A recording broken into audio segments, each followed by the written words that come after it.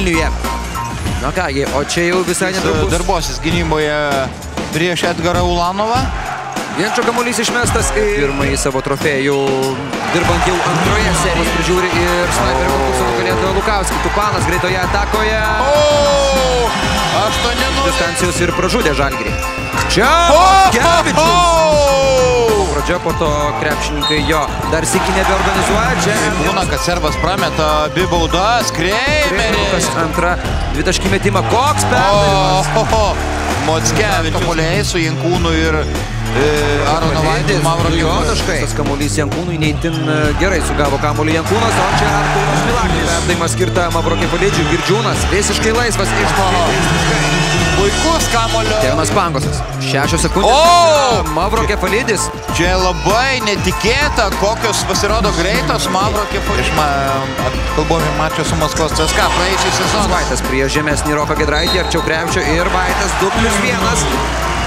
Čia Jomantas Trenerio nebus. sąskaitoje jau 9 taškai, čia Ulanovas greitajame puolime, niekieno Oho! Nečius pirmoje dalyje, čia O! maksimaliai ambicingi.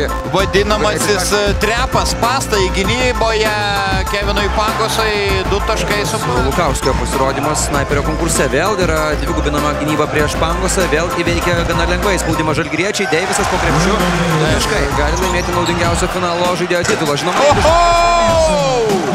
Valiauskui, Ulanovas, sudėtingas metimas, du taškai, daubyklėje. Trys taškai yra Jie atskaitomi. skaitomi. Ir atakos pabaigos. Pakabintas kamuolys Vaitui ir Kokyvinskas. Dar nesenai O. netakuoja, arčiau krepšio. taškai. Oho! Incidentį. Pats Bernas atakuoja iš toli. taškai. Turi taškių. Bernas. Rokas Gidraitis. Jo greitas metimas iš toli. Trys taškai. Ulanovas keičia takos kraštą. Reikia galvoti apie takos finišą. Kavaliauskas. Kaip ant greičio ir mobilumo. Ir Kavaliauskas. Penkios sekundės arčiau krepšio, be jokios gynybos iš Ir- Vilniečių. Jimmy Bernas, kamuolys skirtas Ekodui, galingas Martino Ekodas. Pangusas, arčiau krepšio Ekodas spėjo ir pasivijo kanadietį. Įspūdingas blokas. Ir čia Kreimeris, jo gražus reidas nuo vienos pakrantės. Ką, pusantros minutės. Ir čia! Vaito apie pergalę laiko paprasčiausiai lieka per mažai, dar ir perdavimas. Oho! Vaitui dar vienas dėjimas.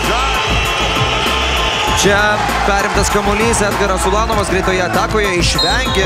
Daug svarbesnės negu dvi kovos Lietuvos krepšinio lygoje. Tai buvo mačas dėl trofėjaus ir pirmąjį sezono trofėjų iškovojo Kauno Žalgirio komanda, kuri dar net neištiksėjus visam likusiam ketvirtojo kelnio laikui jau yra...